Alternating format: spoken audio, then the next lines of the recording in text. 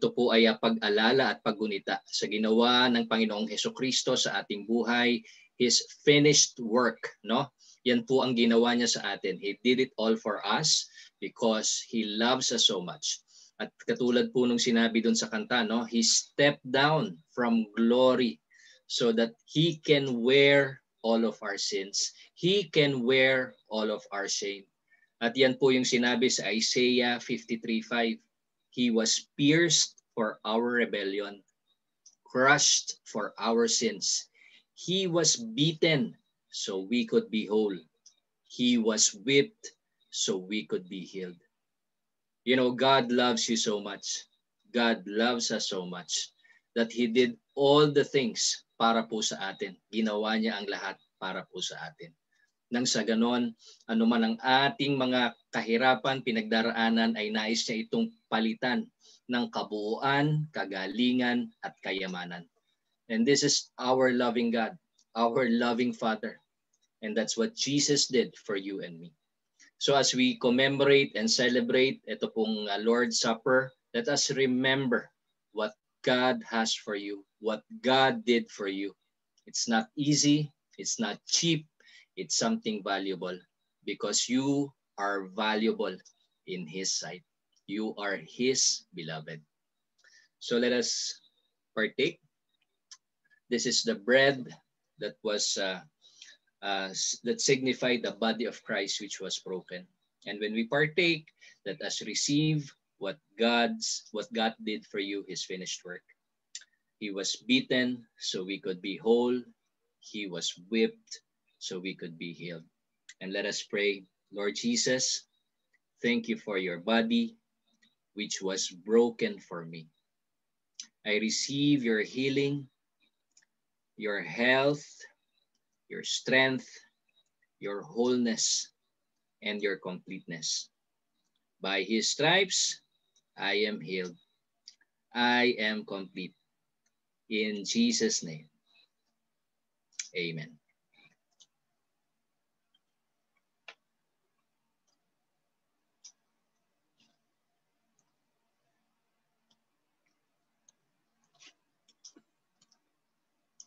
This is the blood of Christ that was shed for the forgiveness of all of our sins. You know, kung wala po yung shedding of the blood, wala pong magiging kapatawaran sa ating mga kasalanan. And Christ did that for us, the perfect sacrifice. At yan po yung sinasabi dito, when we receive this abundance of grace and that gift of righteousness which Christ himself gave to you, you will reign in life through the one, Jesus Christ. And that is the one thing na lagi po nating ilalagay sa ating isip. Whatever you are going through today, you are not defeated. You are not lacking. You have everything because of what Jesus did for you. All of His promises are yes and amen. So wala na po yung condemnation because God has already paid all of our sins and lahat ng kanyang mga pangako according to His word are yes and amen. So receive that abundance of grace and that free gift of righteousness which Jesus uh, gave to you. Let us pray. Lord, thank you for your blood that washed away all of my sins. I receive your forgiveness, no longer condemnation, and I, I thank you, Lord God, for the righteousness that was given to me by Jesus Christ. Thank you, Lord, for when we receive this abundance of grace and that gift of righteousness, we will reign in life through Jesus Christ. In Jesus' name.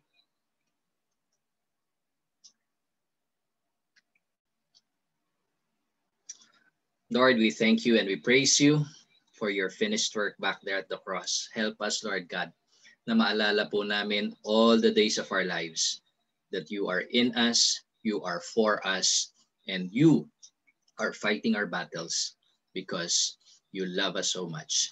And this we pray in Jesus' name. Amen. Alright, tayo po ay uh, dumako naman sa ating tithes and offerings. Let us worship the Lord through our giving. And you know, lahat po ng uh, meron po tayo ngayon is all because of His graciousness no, sa ating pong buhay. At uh, tayo po ay uh, uh, palalo na pag tumitingin po tayo sa Kanya, lalo na kung meron tayong puso na nagpapasalamat po sa Kanya. And one of the things that uh, you know we we worship how we worship the lord is through our tithes and offerings through our giving because out of the fullness of his heart no sabi niya out of his fullness we receive grace upon grace upon grace and even in Malachi 3:10 no even God is saying no sabi niya bring all the tithes into the storehouse so there will be enough food in my in my temple and if you do, says the Lord of heaven's armies, I will open the windows of heaven for you. I will pour out a blessing so great you won't have enough room to take it in. Try it. Put me to the test. You know, this this just shows how gracious, how generous ang atin pong Panginoon. When we worship Him, when we trust Him, that all things will work together for good, nako, siya po ang magbubuho, sabi diyan, I will pour out a blessing so great you won't have enough room to take it in. And that's our God. That's our Father. So it's all it's all good to worship him and praise him for all his goodness na sa ating buhay. And uh, we can offer our tithes and offerings uh, through this um, means no to this account no sa ating pong GCash account sa 0977-844-4499. So uh, yan po ang ating tithes and offerings and uh, if you have your tithes and offerings your your cell phone with you uh, we can uh, pray and thank the Lord out of the fullness that he has given to us. Lord, we praise you and we thank you, Lord God. Salamat, Panginoon, sa lahat ng biyaya at pagpapala na ipinagkakaloob mo po sa aming buhay. Salamat, Panginoon, for uh, hindi ka po nagkukulang no sa lahat ng aming mga pangangailangan. You are our great shepherd, you are our great provider. At salamat din Panginoon sa biyaya mo no sa amin pong mga talento, sa amin pong mga trabaho, sa amin pong kalakasan na ipinagkakalob mo po sa amin, kalusugan, Panginoon, that we are able to perform ano man yung kailangan namin gawin sa pang-araw-araw, Panginoon. Thank you, Lord God, for giving us the power to create wealth. And Lord, we just lift up to you our tithes and offerings. Thank you, Lord, for blessing these things, O Lord God. Thank you, Lord, for blessing our finances, O Lord God. Thank you, Lord God, for blessing our giving as well. Thank you, Lord God, for all your faithfulness sa amin pong buhay. And this we pray in Jesus' name. Amen and amen. Okay, so uh, tayo naman po ay dadako no so sa hearing of the word at ang uh, magbabahagi po sa atin ng ating uh, magandang mensahe ngayon. Siyempre, pagkagaling sa Panginoon ng mensahe, talagang maganda po yan.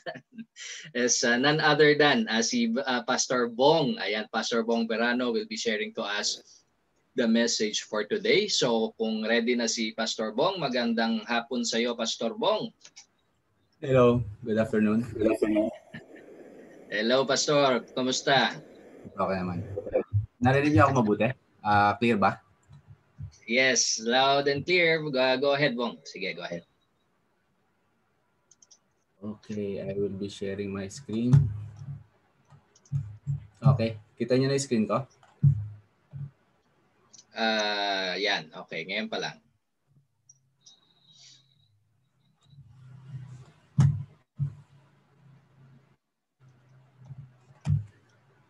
Okay. okay. Bago po tayo White magsimula. screen pa lang, no, Bong? Wala pang nakalagay, oh, yep. ano? Yep, correct. Okay, sige. Good, good, good. Sige, bago po tayo magsimula, tayo po ay manalangin. Uh, Heavenly Father, uh, maraming salamat po sa hapon na to na kami po, Panginoon, ay muling nagkasama-sama, nagkatipon-tipon upang uh, kami po ay uh, man, uh, magbigay ng papuri at uh, pasasalamat po sa inyong pong pangalan. Maraming salamat din Panginoon sa inyong pong mensahe ngayong hapon na to, Lord, na inyong pong pagkakalog po sa amin. Uh, naway uh, ito po ay magamit po namin, Panginoon, sa aming pong mga araw-araw na buhay dito po sa lupa. Kayo po ang uh, maitaas sa aming pong kalagitnaan sa pangalan ni Jesus. Amen. Amen. Okay, so magandang hapon po ulit. Um, ngayon po ay uh, matatapos na uli ang January ano po, uh, January 24 na po ngayon and uh, Happy New Year po ulit sa ating lahat. uh, napakabilis po talaga ng panahon. Ano po? Um, nung nakaraan lamang ay uh, 2020, ngayon ay 2021. Matatapos na naman po ang buwan ng January. And um, marahil lang iba po sa atin ay maganda ang salubong ng 2021 ano po compared to 2020. Pero hindi po sa lahat. Ano po? Um, meron po mga balita na nabulaga po sa atin sa buwan na to.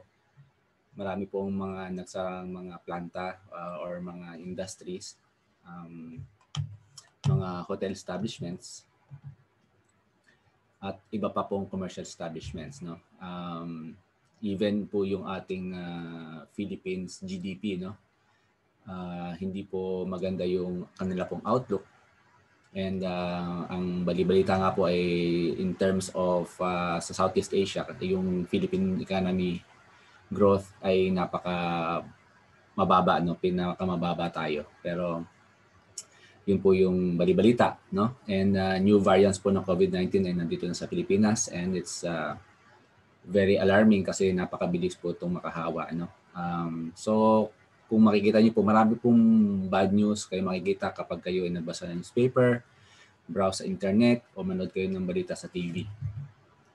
So, many uncertainties in our daily lives today.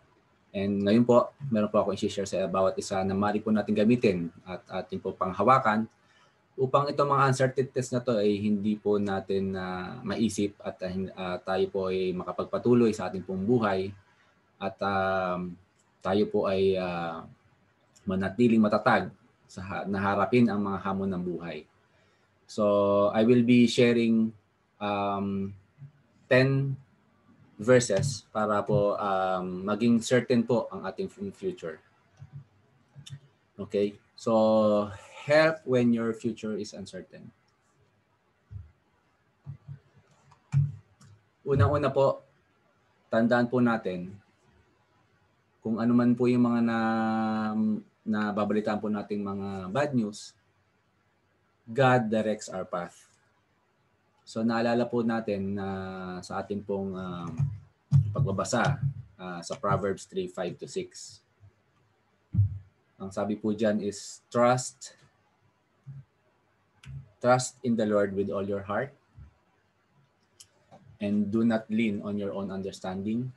In all your ways acknowledge him and he will make straight straight your path. You try to hard you try hard to trust God with your whole heart. Subalit minsan gaya po ni Pedro, um, the wind and waves become huge. No? Malaki po yung naging problema na, na kinakaharap po natin. We try to keep our eyes on the master but we feel shaken. And then remember that God asked us to let Him know what is going in our lives. So, paalala po natin, parating po natin sa ating Panginoon, kung ano po yung nararamdaman natin, ano po yung nararanasan natin. And He said, in all your ways, acknowledge Him. Kung tayo po man ay um, naging isang uh, biktima ng COVID-19, no? uh, meron po tayong iniisip na sinasabi na tayo po ay posibleng nahawa. So God is concerned about that, no? Uh, so we need to uh, let Him know He is concerned about anything that concerns you. So lahat po ng naging problema po natin, lahat po ng ating pong alalahanin, let's give it to Him, no? And uh, He will direct our path. Okay? So yan po pagkatandaan po natin. At um, gaya po na isang ama na um, inaalalayan ng kanyang anak tuwing uh, magkakaroon ng light, lightning and thunderstorm. Uh, meron po mga thunders na nakaka-apekto sa kanya pong uh, uh, pagtulog. Ay eh, ganoon din po pang, ang Panginoon. No? Uh, tayo po ay naantay niya na tayo po ay lumapit sa kanya at siya po ay magko-comfort. No? He will give us comfort. And uh, let's open up no sa ating Panginoon sapagkat uh, he is waiting for you. Okay? Uh, yan po yung una. God directs our path. Okay? So pangalawa po, God's ways are, are higher. So we look around and hear the messages the word tells us. You do it, you're strong, you've got this. And somehow, when something happens to us, we try desperately to be strong. After all, aren't we supposed to handle our lives? Aren't we supposed to be large and in charge? But God's ways are different than our ways. Sabi nga po sa Isaiah 55, 8 to 9, His, His ways are much, much higher. Doesn't it make sense then that we turn whatever we are worried about over to Him? So kung ano man po yung ating pong mga uh, fears, ang ating pong worries, let's give it to Him, no? His view is much clearer from up there. Plus, God is sovereign. He knows everything. So, pwede pong ang nakikita po natin ay uh, temporary lamang. But uh, sa palagay po natin is, is, is permanent. But God already knows what's up there, what's what's ahead of us. So, so let's give it to Him. Let's uh, uh, this uh, turning over our uncertain situations to the one who is all-knowing is the only thing that will give us peace. Bigay po natin sa Kanya and it will give us peace. We can know that God can handle anything that comes our way. Nothing is too big. No? Wala pong malaki para po sa ating Panginoon because God is bigger. He is the one who is large and in charge. And, uh, and all He asks us to do is to believe that. So, tayo po ay dapat na maniwala sapagkat siya po ay malaki kaysa sa ating mga problema. Pangatlo po, God gives us good things. Paano po kung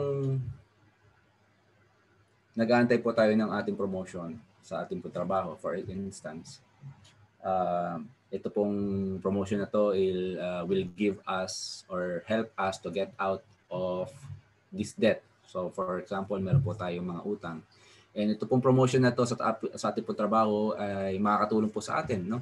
Uh, sapagkat uh, uh, pagka na-promote ka, syempre mayroon kang increase, no? And uh, it will help us in terms of makapagbayad ng ating mga kautang, kautangan. But uh, paano po kung hindi po naibigay sa atin yung uh, yung ating pong uh, promotion? um, ano po yung ating uh, um, ating pong uh, niisip tungkol po dito no um, sabi po sa Psalm 84:11 For the Lord God is a sun and shield the Lord bestows favor and honor no good thing thing does he withhold from those who walk uprightly. So, kung ito pong trabaho na to or yung promotion na to ay karapat-dapat po sa inyo, definitely po ito po ipagkakalob po ng Panginoon sa inyo. No? We need to get to the point where we trust that God does know best, no matter what we think. We must learn that if we do not get the job that we are hoping and praying for, kung hindi po natin nakuha ito, it is because God knows it would not be good for us. if it were then then maybe he would have unanswered that prayer with a yes pwede po kasing itong promotion na to is uh, uh, na, na iniisip natin is um, uh, makapagbigay po sa atin ng additional na income. Opo, tama po yun. No? Pero ang Panginoon pa rin po nakakaalam kung ito po ba ay dapat para po sa inyo because maybe ito po ay pwede rin makadiscourage po sa atin. No? Um, pwedeng mas malaki yung kapalit nito kaysa dun sa benefit. No? Uh, for example po, pwedeng, pwede kang um, um, mawalan ng oras sa pamilya mo. Dahil sa promotion na to, syempre mas tataas yung responsibilities mo. So God knows about this. No? We have to remember that God knows not only the past or the present we are in, but He also knows what lies ahead. Okay? So yes, we may think we know what is good for us, but only God truly, truly knows. So pagkatandaan po natin yan. So kapag tayo po ay nakaranas ng ganito pong situation, let's meditate Psalms 84:11. At ito po ang makapagbigay po sa atin ng peace sa ating pong buhay, sa ating pong puso. And uh, speaking of peace, God gives us peace. Sa Philippians 4:7 po, peace we feel all wrapped up in God's blanket of peace. Sabi sa Philippians 4:7, and the peace of God which surpasses all understanding will guard your hearts and your minds in Christ Jesus. So whenever we feel with certainty things, are going to be okay. Without one shred of evidence, we can be sure God is involved. Ang enemy po ng ating soul is the only one who tries to discourage us, no? Si Satan po. Especially when we have made the decision to trust God with our uncertainty, we get to the place where we have handed it over to God. We patiently wait for his answer, though sometimes we get a little shaky. We made a decision, and when we start to falter, we go to the God of all strength, the one who can uphold us. And we once again have our faith bolstered. We know it's good because nothing in our circumstances has changed, and yet we are at rest. It's almost unexplainable. Kapag tayo po ay nasa Panginoon, we will uh, uh, feel peace and we are at rest. Kaya tandaan po natin ang Philippians 4.7 and it will give us the peace that we deserve. But what if things don't turn around the way that we wanted? What then? Was putting our faith in God wasted? Did he choose not to answer? No, sometimes God's answer is no. But we have to remember whatever the outcome, God is still involved. He tells us in Romans 8:28. And we know that for those who love God, all things work together for good, for those who are called according to his purpose. That the answer we got was no mistake. God is not done yet.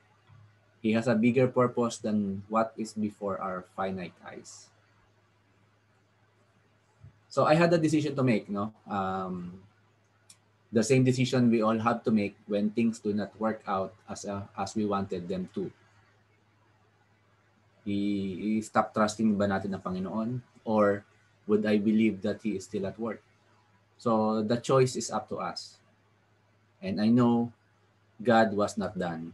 And I decided to trust Him. No? Kung ito po yung mangyayari sa akin, I decided to trust Him.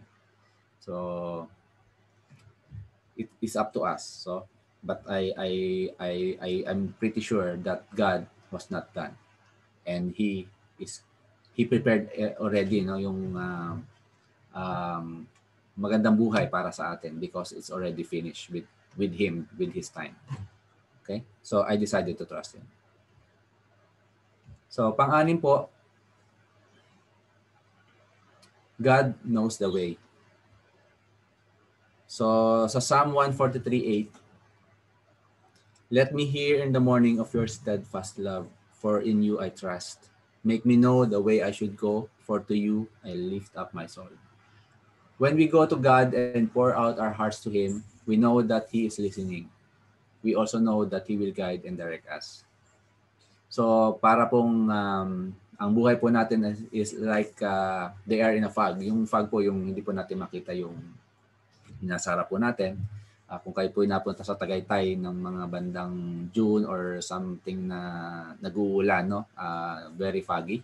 So, hindi mo po makita yung ahead, mga 1 meter, 2 meters ahead of you. So, so para po ganito ito po yung buhay po natin, no? Uh, looks like we are in the fog. Uh, uh, hindi po natin nakikita kung ano po yung nasa harapan natin. But we can trust the God who sees through the fog, no? Uh, we can trust our God.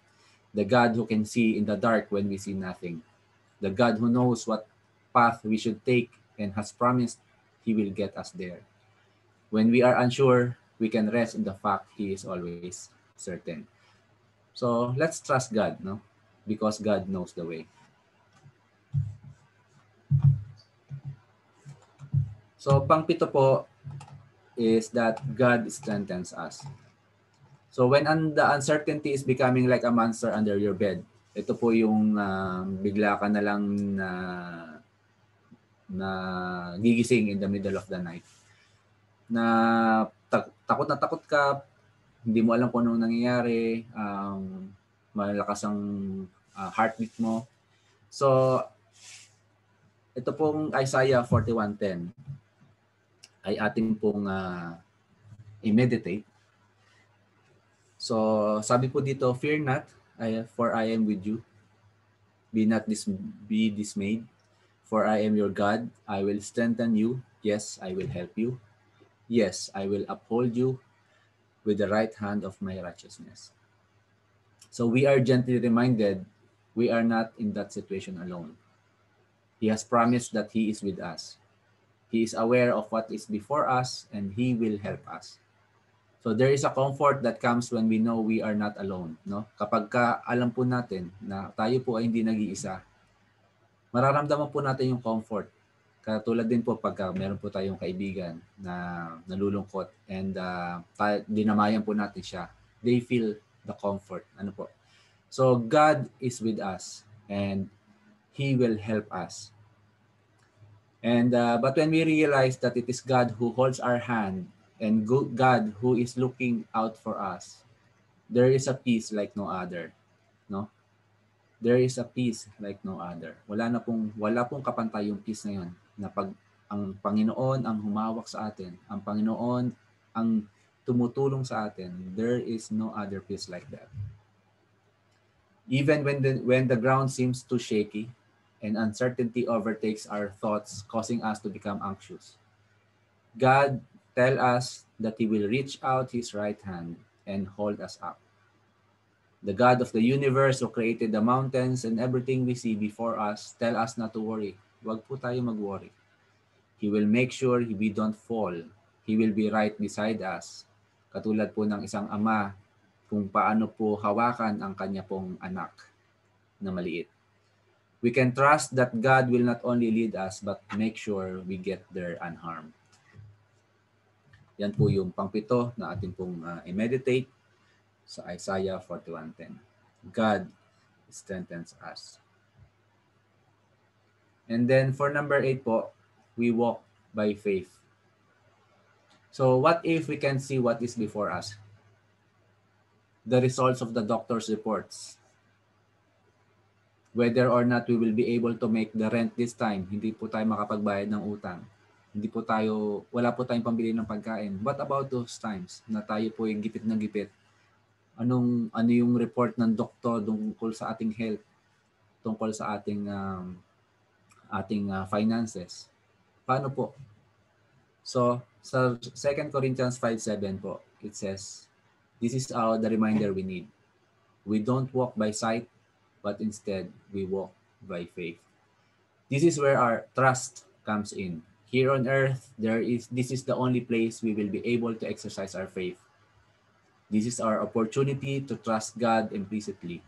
And when we struggle with doubts, kung tayo po ay laging uh, nag-aalinlangan, God will encourage our hearts. He will remind us of what is true so we can hold on to the truth when our feelings overwhelms us. So, faith is trusting in God without seeing any proof napakahirap po ano po. Uh, faith is trusting in God without seeing any proof. Pag wala po kayo nakikita, pag minsan ang hirap-hirap po maniwala. Pero that, yan po talaga ang faith. And the only reason we are able to do that is because He empowers us to do it. It's like how we believe that Jesus died on the cross and paid for our sins. Kasi hindi naman po tayo nandun nung time na yon. We had to accept that by faith And then where, when we started walking as Christians, we were faced with many opportunities to trust God. Katulad po na naranasan po natin ngayon. And we have the choice to believe God even though we have no idea how He's going to work things out. Kahit po wala na po tayong idea kung paano po niya ayusin yan, we need to believe. That's our faith. We still have the choice to put our faith in Him and know that He is at work, even when we can't see a thing. If we could see something, we would not need faith. Ano po? Kaya tayo po ay um, maniwala. Let's uh, improve our faith for we walk by faith and not by sight. Kala po natin wala na po siyang kapag pag-asa pero we faith we have a we have faith in God na ito po ay maayos at lahat ng ating problema ay masusolve sapagkat ang ating Panginoon ay mas malaki sa kaysa sa ating problema.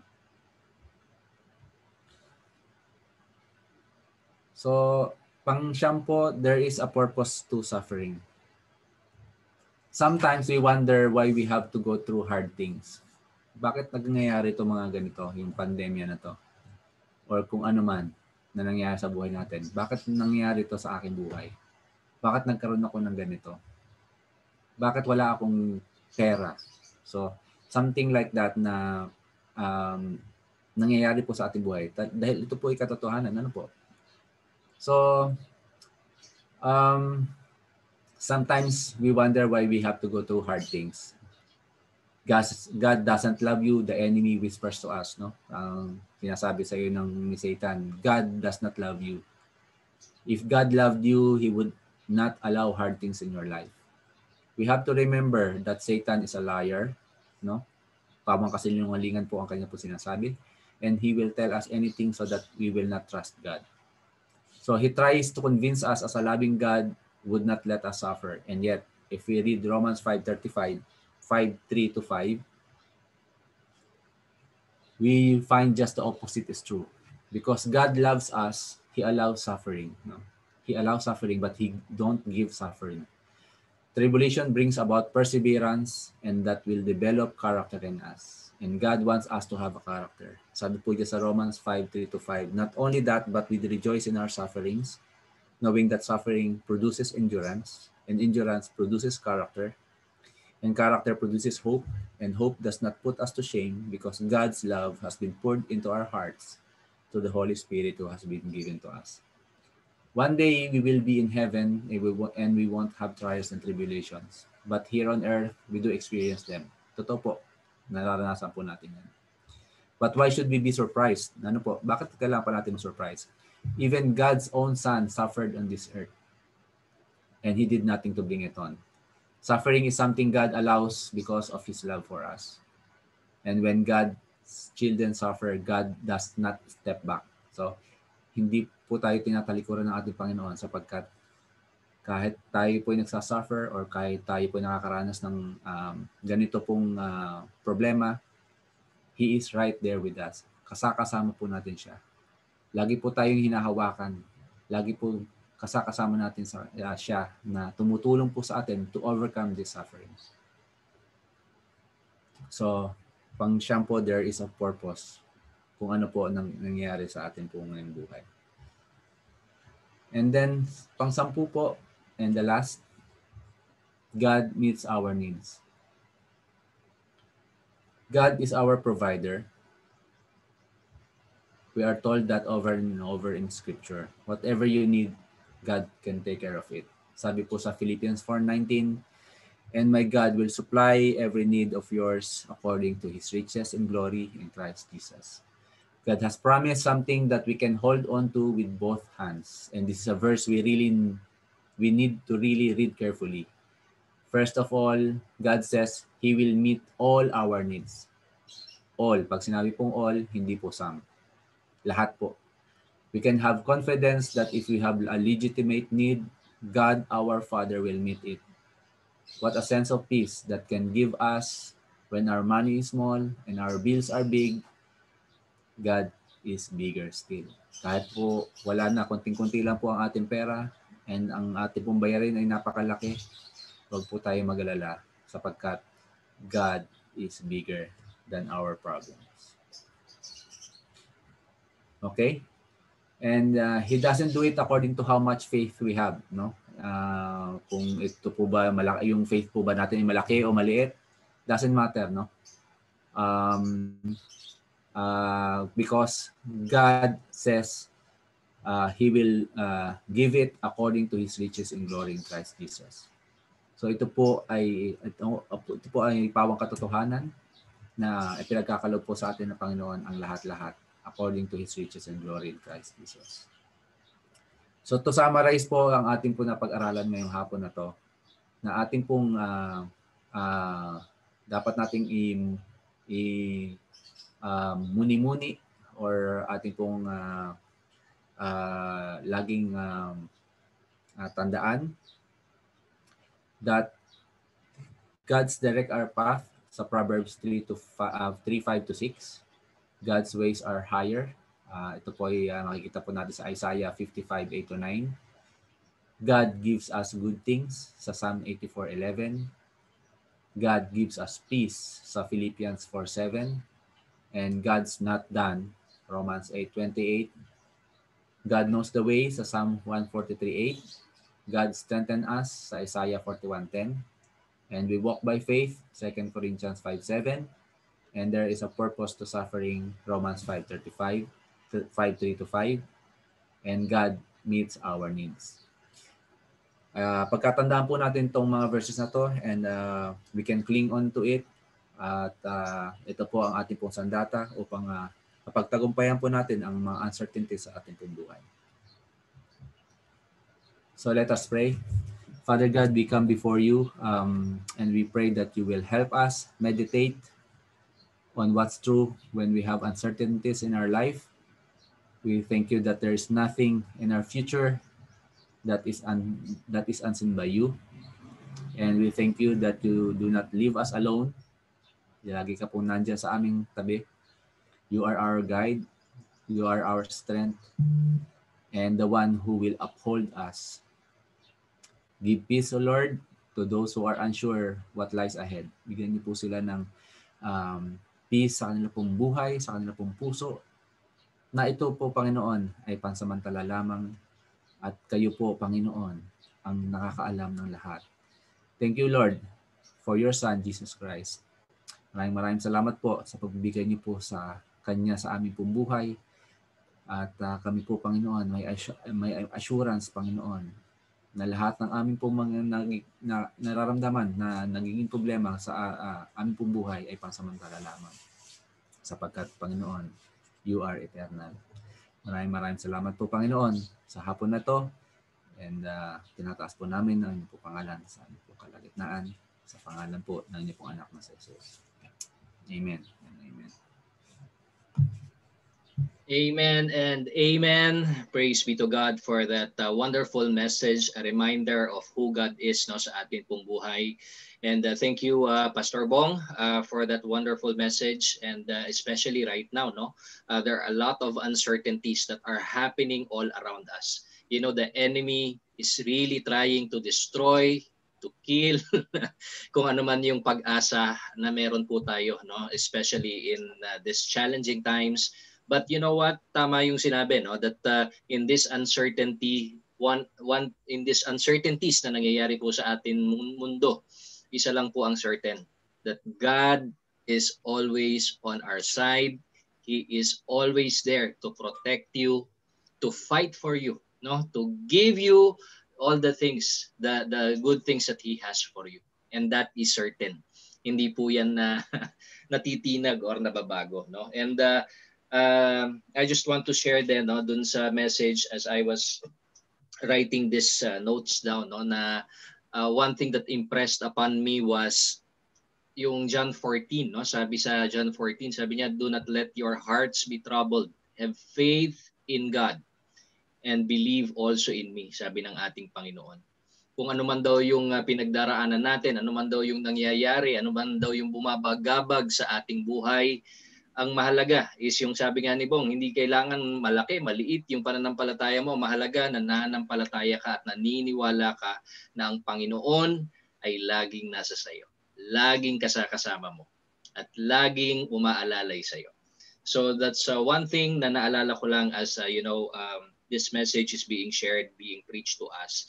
And I hope that as we go through our week, as we go through this 2021, yan po ay lagi nating panghawakan there's always certainty in the presence of God. All right, so uh, I don't know kung available si Pastor John kasi medyo I think may problema yata yung kanyang internet but uh, subukan natin. Hello, Hello Pastor. Magandang hapon hello, sa iyo. hello. Hello po, magandang hapon po. Hello. Yes, Hello. Pastor. Yes, we can hear you. Ayun, ayun. Uh, praise God po. Uh, yeah, may nagka-problema lang po kasi sa uh, internet connection namin but uh, uh, nakapag-load kami para lang maka-join sa ating uh, uh, worship online. Uh, but praise God at uh, purihin po ang Panginoon sa hapon na ito. Salamat po sa bawat isa na nakasama natin ngayon. And also kay Pastor Bong na siyang nagbigay ng mensahe sa atin sa hapon na ito. At purihin po ang Panginoon no sa mensahe natin about sa Proverbs no na trust in the Lord with all our hearts and do not lean on your own understanding. No? So napakaganda pong mensahe yan na narinig natin ngayon. Trusting the Lord, ibig sabihin, magtiwala tayo sa Kanya. No? Trusting the Lord with uh, various practical areas sa buhay natin. Sa lahat, no? Because alam naman natin God knows what is best sa atin. No? And gaya nga ng sinabi sa message natin, He will direct our paths no, by both guiding and protecting us no, sa lahat ng bagay. So trusting Him sa ating finances, sa ating uh, family, sa ating uh, trabaho, sa business natin, with all our uh, weaknesses and decisions, no? And uh, sabi nga, He will direct our paths. So praise God po, Pastor Bong, sa mensahe mo and uh, I hope ang bawat isa ay encouraged and blessed po. No? At ito po ay ating panghawakan sa araw-araw ng ating buhay. Saan man tayo naroon, ano man ang ating ginagawa, trust the Lord with all our hearts. Okay? Purihin po ang Panginoon. So ngayon po, bigay po natin ang pagkakataon sa bawat isa na uh, makapag-share no kung ano po yung inyong uh, uh, insight about sa ating message ngayong hapon na to and also kung meron kayong mga praises pasasalamat sa Panginoon. So, sige po, ibibigay po natin ang time sa bawat isa. Uh, tawagin po muna natin sila, uh, sunod-sunod ko na lang po yung nandito sa aking screen, no? si um, Ate Lenny Bergonyo. Magandang hapon po sa inyo, ang uh, Bergonyo family. So, hello Kambal and uh, Ate Lenny, magandang hapon po. Yeah, pwede niyo pong i-unmute yung mic niyo. Yan ha. Yay! Hello, magandang hapon. Yeah, kamusta po? Maraming salamat po. Yeah, hello, Ate Len. Yan. Lapit po kayo, Ate Len. Yan.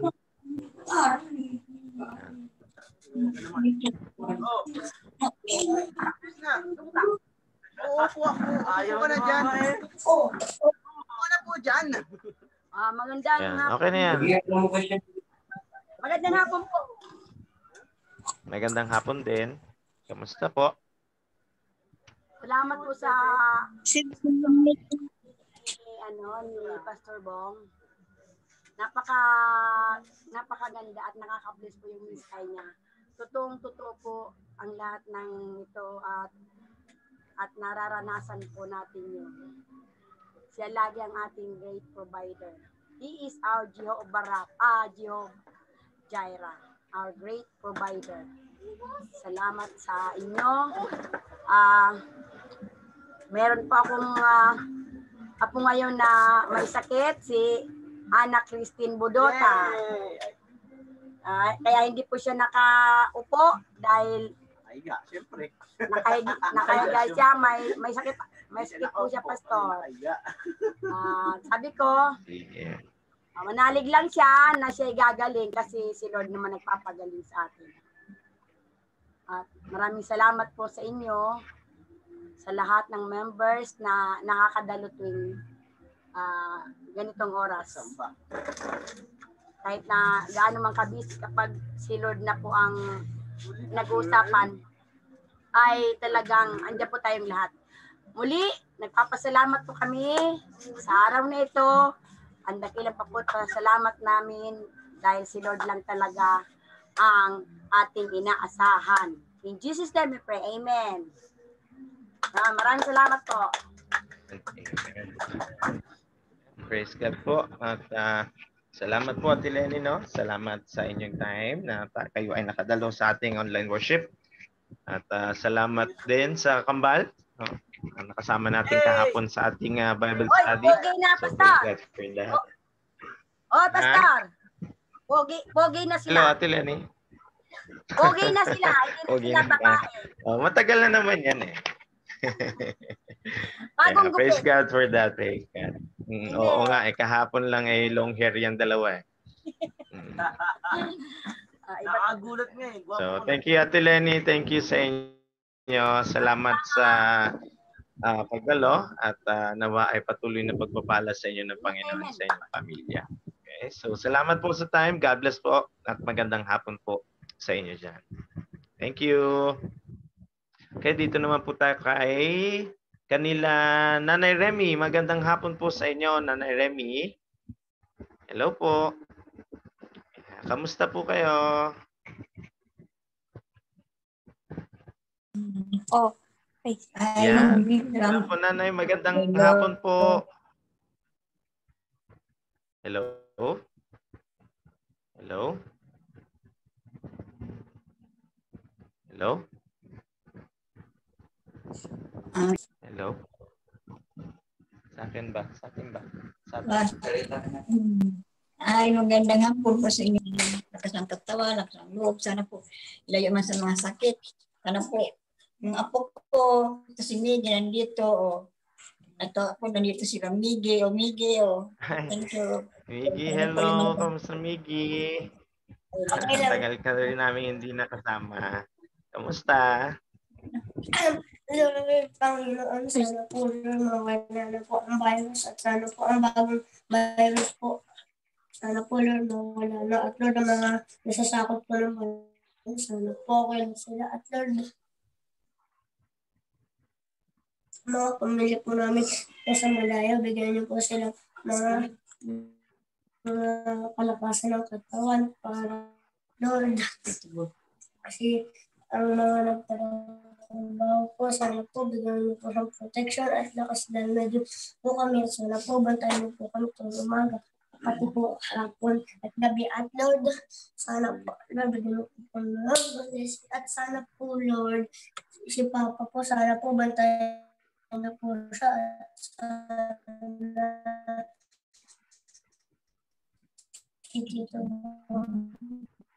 po, bantayan niyo din po siya at ang mga frontliners po, sana po bigyan niyo po sila si President Duterte po, sana po bigyan niyo po siya kalakasan ng katawan para po hindi po siya mawa ng COVID-19. Sana din po kami, Lord, di po kami mawa ng, ng COVID-19 at tumagal po ang buhay namin. Amen. The name, the power of the Son, the Spirit. Amen. Amen.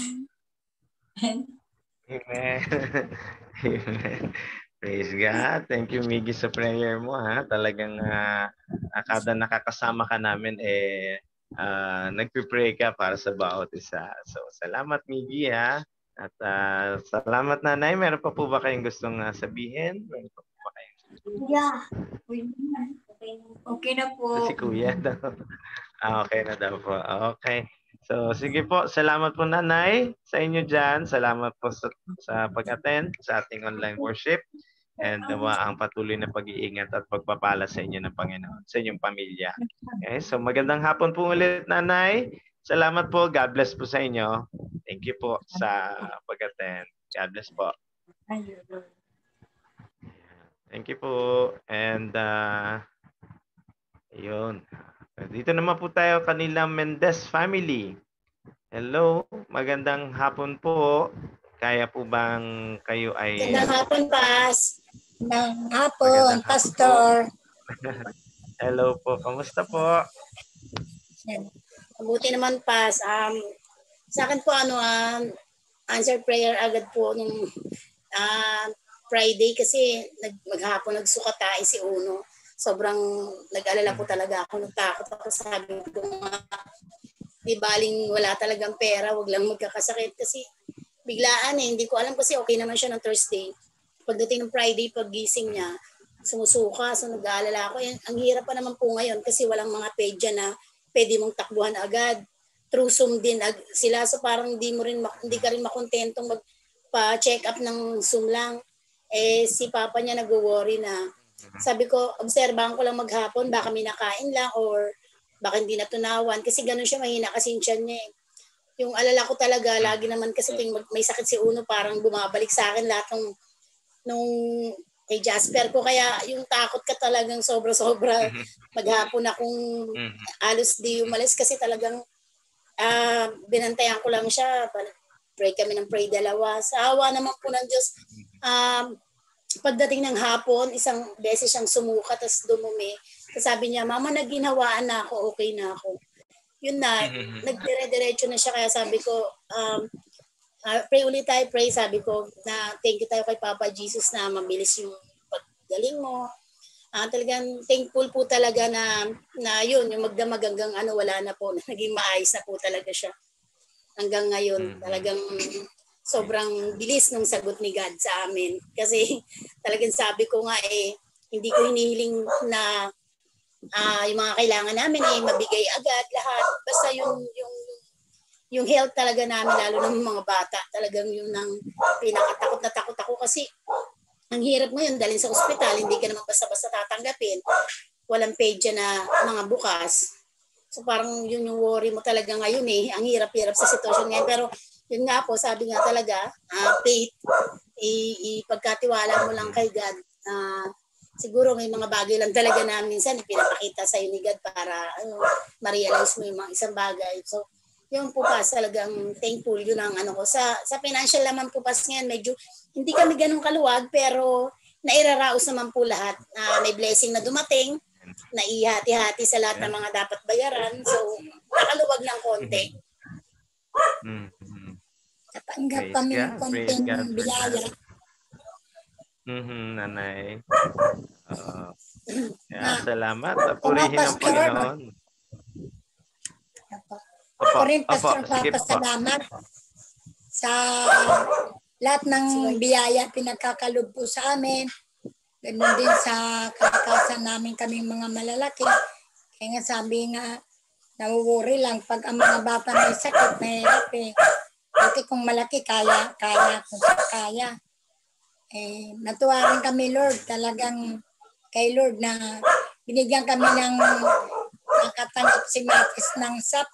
Yun, nakaraos kami sa mga bayaran ng kuryente at tubig.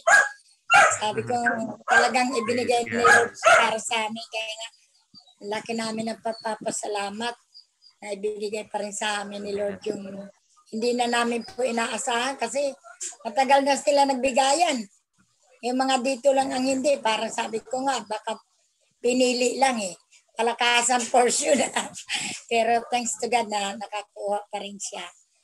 Okay, thank you. Salamat, Pastor. Amen. Praise God. Praise God for that, no? Na talagang ah, ay tinutupad ng, pang, ng Panginoon ang kanyang pangako that He will supply every our needs, no? yung mga pangangailangan natin sa ating buhay. Okay, so purihin ng Panginoon po ah, sa inyong buhay dyan, sa inyong fam- family, uh, Sister Malu and Nanay. Salamat po at ah, tunay nga na ang ating Diyos ay buhay. Siyang kumikilos sa atin, no? At alam niya man natin na talagang hindi niya tayo pababayaan bagkus lalo niya tayong iniingatan at ah, ginagabayan sa lahat ng oras. No?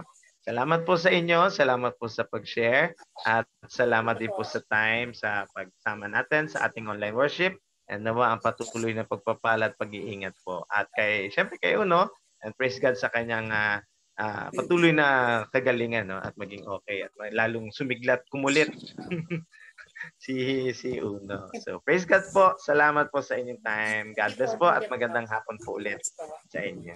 Thank you po. Thank you. Bye-bye. Yes po, nanay. Salamat po sa inyo. God bless po. Okay, so dito naman po tayo kay ah Sister, ayun, Purple Sheila. Hello po, Ate Lala. Magandang hapon sa iyo. Naka-red ka, hindi ka naman purple. Uh, Joke magandang hapon sa inyo Yeah. lahat. Mm, Magandang hapon din. Kamusta po? Mabuti naman. Ayun. Ah, yung message ni Bong is ah, great reminder para sa atin lahat kasi 'di ba katulad nga nung mga napagdaanan natin last year as in sobra sobrang daming pagsubok na nangyari sa atin lahat is etong mga to ay talagang reminder sa atin na na for this coming year na ito ito ulit ang pa ating paghawakan para sa darating na taon na yung lahat ng mga darating na pagsubok ay ito lang lagi natin i-claim tong mga to. Lalo na- sa akin reminder din talaga to eh kasi lahat ng mga message ni Bong is mga nangyari rin talaga sa buhay ko. Dumaan, may maraming dumaan na pagsubok sa akin na talagang pagtira ng kaaway. Kaya talagang yung sinasabi nga niya na halos gigisingin ka sa madaling araw na na Meron takot. Tas yun. Kasi yung nangyari rin yung sa akin na ano, na hindi mo alam bakit, bakit ka natatakot, bakit ano, anong, walang kadahilanan. Tas yun, yung magpapapray ka na lang na ano, para mawala yung nararamdaman mong gano'n, na ano man yung takot na binib, inaano sa'yo ng kaaway na kaya lahat to ano talagang kailangan i uh, tawag dito laging i-remind sa atin na magandang reminder to sa atin na itong mga verses na to lagi nating basahin para sa para ma-remind tayo ulit. Yun. Yes. Amen. Amen. Amen for that, no? Purihin ang Panginoon. At ang yung dalawang anak uh, tumatango si isa tumatago lalo. okay, anyway, so sige, salamat po sa inyo. Salamat uh, Tilala no, sa pag-share din. Happy New Year ulit sa lahat. Po yan, no? Happy New Year po sa lahat sa atin. Okay, so thank you po and uh, God bless. Salamat sa pag-share. Thank you, Tilala. God bless po you. And dito naman po tayo kay kay June Manaog. Magandang hapon po kay June. Kayo po ba ay available or Hello ah, good afternoon. Yun, good afternoon, ah, good afternoon. po kaya. Magandang ah, Naka-mobile na kasi kaya. Eh. Magandang hapon po. Ah, ganun po. Sige ah, po. Kung kaya po ko yan. Apa. Apa. Okay. So anyway, uh, timely yung message ano because uh, at this time talaga marami tayong uh, uncertainty. Uh, even Jesus uh, na-experience niya rin yun. Eh. Sabi nga dyan sa Bible, di ba, yung foxes have holes, uh, birds have nests, but the Son of Man has nowhere to lay his uh, head. So, uh, but ang, ang ano kasi is yung pag may uncertainty kasi, uh, usually nandun yung worry, eh, nandun yung fear but uh, Jesus said uh, hindi dapat mag-govern sa atin yung fear but yung faith. Kasi uncertainty is uncertainty yan eh. Mari mangyari, mari hindi. No, it's not the mm-hmm. reality. But uh, isa lang ang certain uh, our future, yung ang ating provision, yung ating needs, uh, yung ating victory is certain to God because He has all the knowledge, all the power, and all the uh, desire to turn everything into good. No, sabi nga sa Romans 8.28. So he has decided to turn everything to good for those who love him and are called by him. So in this time of uncertainty, dapat ang nagtatriumph sa atin ay yung faith, uh, yung trust sa, ating, uh, sa ating Panginoong Diyos. Yun na po. Good afternoon. Amen, amen, amen. Thank you, Kuya. Salamat po no at sa pag-share and magandang hapon po sa inyo. Okay. Kaya Ate Lisel, magandang hapon po. God bless po sa inyo. Okay, so dito God naman bless. po tayo kay uh, yan po. Thank you po. Kay Ate Mucha. Hello Ate Mucha. Magandang parang Hello. Ayun. Medyo puno ang mapuno ang iyong mukha Ate Ate Mucha. uh, good afternoon Pastor kasi may may good afternoon. nag-update tong Zoom So may bago siyang settings. Kinalikot ko lang. So ah. hindi ako hindi yata ako kita. So anyway, hindi. Apa, apa. Okay lang, sige po. Di ba? yeah. So, uh, mga puno ang iyong uh, mukhang okay, green. uh, mga puno. Yan ang gusto ko uh, uh. uh, nilalakar at tinatakbuhan na yan. Oo nga. Oo. Uh, uh. Magandang hapon po yeah. sa ating lahat. Uh, natutuwa po ako nga na tayo ay nakapag time nakakamiss pa rin talaga ang physical face meeting, pero dadating din tayo doon. So natutuwa po ako lalo makita ang ating mga nanay. Lalo pa kami miss ko na ulit. Uh, yung po ngayon, uh, maraming salamat sa teaching na ating narinig. Um, ano lang talaga, uh, ano yung ang nakakapagpatahimik. Katulad ng sinabi ni Lala, ako rin may, may mga ganong moments ako, mga panic attacks, na siguro talagang ano yan, mm-hmm. yun nga, strategy ng enemy, na gising ka. Common yata ito, sino pa dyan? Raise your hand. Yung magigising ka ng madaling araw for no reason. As in, para kung ano, yung aatakihin ka ba sa puso ng, ng no reason. Puro fear. Pero kasi di ba nga ang fear, false evidence, appearing real. So, kailangan ma-recognize natin siya na siya ay hindi kasinungalingan. So, um, ang nagpapa uh, ano ng loob ko nagpapa peace uh, nagbabalik ng peace ay yung assurance ba na, na God is not surprised dito sa mga nangyayari sa paligid natin. Hindi naman surprise ang Diyos. Sa sa katotohanan na isulat niya na ang ang ending ng story na tayo ay victorious na tayo ay more than conquerors. So tingin ko kung feeling natin hindi wala tayong control.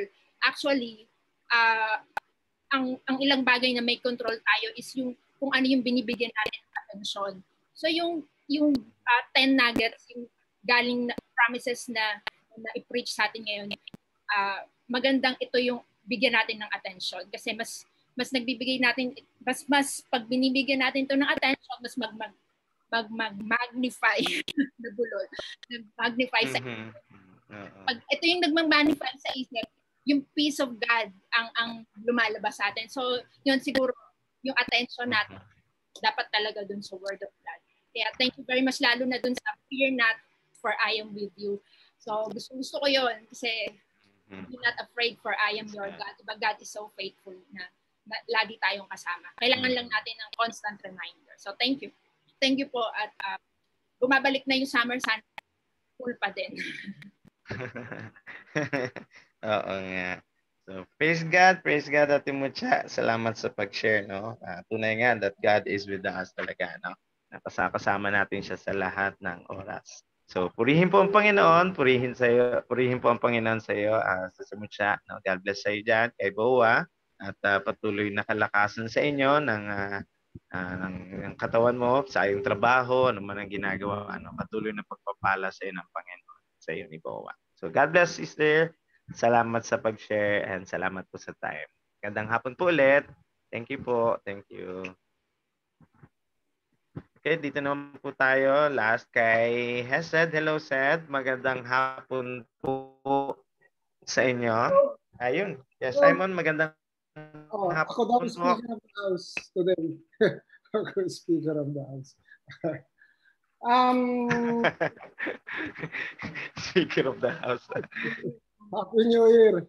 Nakakatuwang Sige tingnan pa, si, nakakatuwang tingnan si Mucha. Silhouette.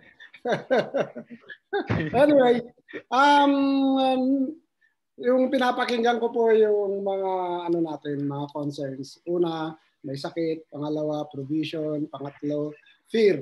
Yun ho yung nag uh, nag uh, nag uh, outstanding ba sa mga nag-stand out.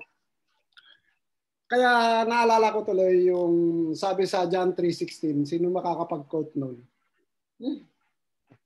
Ano sabi ng John 3.16? Um, sabi ng For God so uh, loved this the mostly quoted verse in the Bible ba? For God so loved the world that he gave his only begotten, begotten Son, that whosoever believes in him shall not perish but have everlasting life. Uh, tama? Tama ba yun? Um, so, kung makikita ko natin doon, um, oh, wait.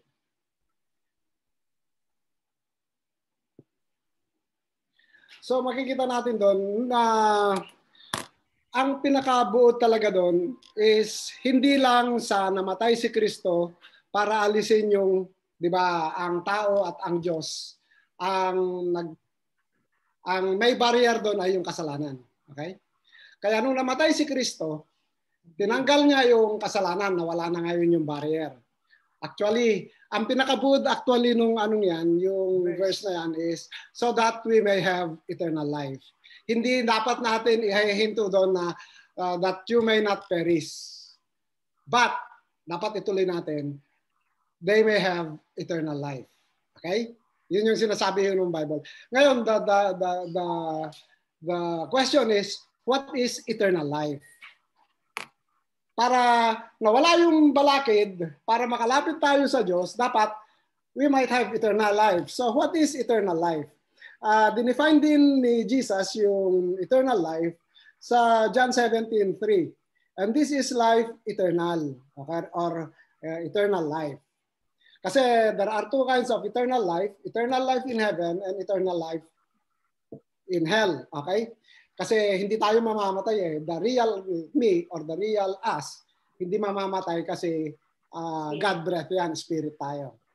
And this is life eternal, that they might know thee, the only true God, and Jesus Christ, whom thou hast sent. So, eternal life is knowing Jesus or knowing God, the true one God, and Christ, whom He sent. Okay. So ang ano dito is eternal life is you must have to know God and Jesus Christ himself. Yun ho yung pinakabuod ho nun. Ngayon, uh, knowing Jesus is not only uh, binasa mo yung Biblia, okay na. But knowing Jesus is in a, in a very intimate word. Pagka sinabi ho dito, uh, basahin ko ho yung Greek word ng know, uh, sabi, to learn to know, come to know, get a knowledge of, perceive or feel, to become known. Uh, Jewish, Jewish idiom for sexual intercourse between a man and a woman. That's how intimate we should be with God. Okay? Ibig sabihin, yung intimacy na God, intimacy na yon, pag titingnan mo lang yung misis mo, hindi mo yan mabubuntis. Tama? Mm-hmm.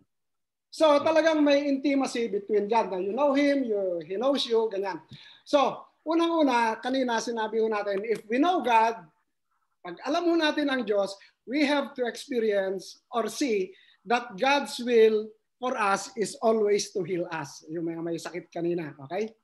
Uh, sabi nga sa Acts, uh, Acts 10.38, and he went doing good and healing all who were sick and that was oppressed of the devil. Okay? Uh, so lahat ng sakit, karamihan ng lahat ng sakit ay nanggagaling sa devil. Okay? So if you know your God, God is always there, committed to heal us. Okay?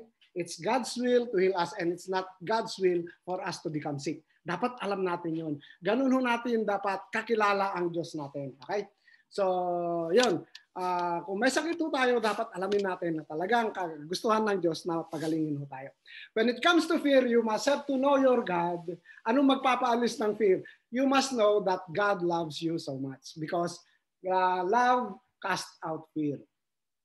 Di ba? Sabi ganyan. So if you know God, then you know His love, that He loves you so much, For God so loved the world that He gave His only begotten Son, binigyan niya yung para sa atin. And if you know that love, it will cast out fear. I believe hindi ka magigising in the middle of the night because you know that God loves you. Uh, okay? So yung provision naman, if you know God who, who is our source, hindi ho tayo dapat matatakot. Kasi it is always God's will to meet all our needs. Sabi nga niya actually, even before you ask them, God knows our needs. Okay? So if we know our God, that intimate, hindi ho dapat tayo matakot sa provisions. Because God will supply all our needs according our to His riches in glory. So I believe uh, mawawala lahat yon if we know our God. If we know that eternal life is in us and eternal life is knowing God and knowing Jesus whom He sent. Uh, siguro yun lang ho yung gusto kong i-share na we have to read our Bible, we have to know Him, we have to have intimate fellowship with Him para malaman ho natin ano ang kagustuhan ng Diyos sa atin. Na kung may sakit tayo, alam natin na God is always there ready to heal us because He went uh, around doing good and healing all the sick. Mm-hmm. And God is good. Uh, he is a Father who is good. Uh, actually, He is a God of surprises pa rin. Okay? So, yes, yun ho yung gusto ko lang pong i-share na eternal life ay nasa sa atin and eternal life is knowing God and Jesus whom He sent. Uh, yun lang po. Maraming salamat. Amen. Amen. Amen. Praise God. Praise God. The Meron pa bang, si Ate Alma, meron pa bang gusto pong idagdag or kayo na po ang spokesperson? kayo na ang spokesperson. kayo na speaker of the house. Pang, pang tatlo na pala yun, ha? pang tatlo na.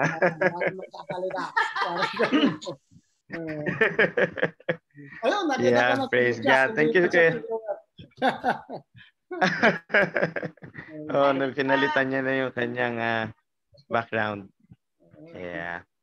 Anyway, so praise God. Uh, thank you po kaya Simon. No? Thank you sa uh, karagdagan, no? na karunungan na, na, na ating narinig ngayong hapon nito. And that, uh, totoo po yan. Kaya kailangan everyday uh, talagang uh, iba yung nasa presensya ka talaga ng Panginoon lagi. Kasi malalaman mo, maintindihan mo, diba? Even yung pangako niya sa atin that now we have an eternal life, no? Na binikalaob niya sa atin. And doon, eh, talagang uh, uh, mapagtatagumpayan natin na lahat because alam naman natin na God loves us at hindi niya tayo po babayaan. No?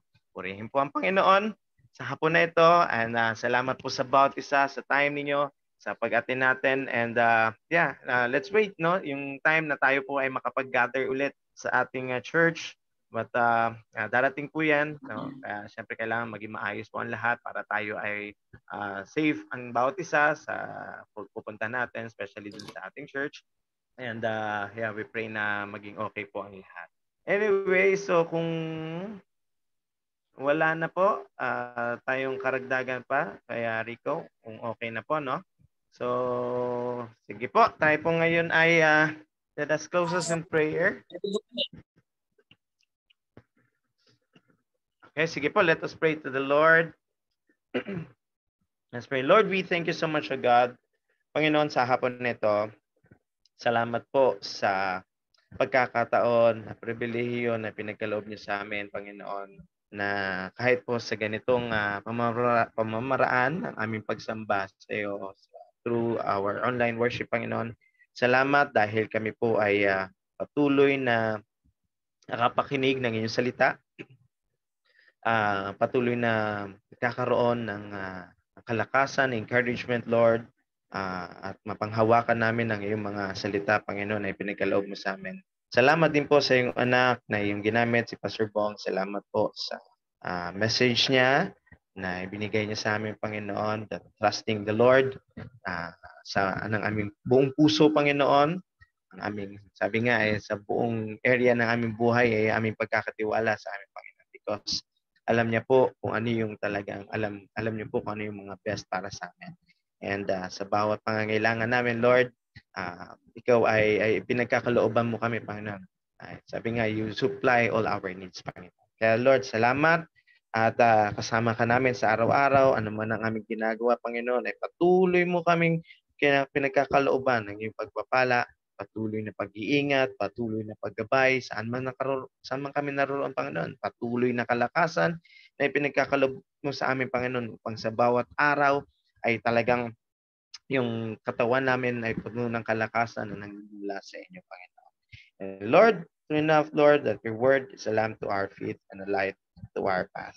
Thank you that we can live in your light and walk in your truth. And may the things that you have been revealed and thoughts that we have shared dwell in our hearts and steer us to action. Salamat, Panginoon. And we want to end this service today. Thank you, Lord, for you have promised that you will never leave us nor forsake us. Thank you that you are guiding us and you are with us. At tanggapin ito ang pagpapala ng Panginoon sa atin ngayong hapon na ito. Now to Him who is able to keep you from stumbling and to present you uh, present you blameless before the presence of his glory with great joy. To the only god our savior through jesus christ our lord be glory majesty dominion and authority before all time and now and forever. Amen and amen and amen. Magandang hapon po sa bawat isa salamat po sa inyo. God bless po and god loves. Salamat po sa inyo Salamat po sa pag Bye-bye. Thank you, thank you. Bye. Kaya Simon, pwede ka po ba ng ano? Kaya Simon, hello?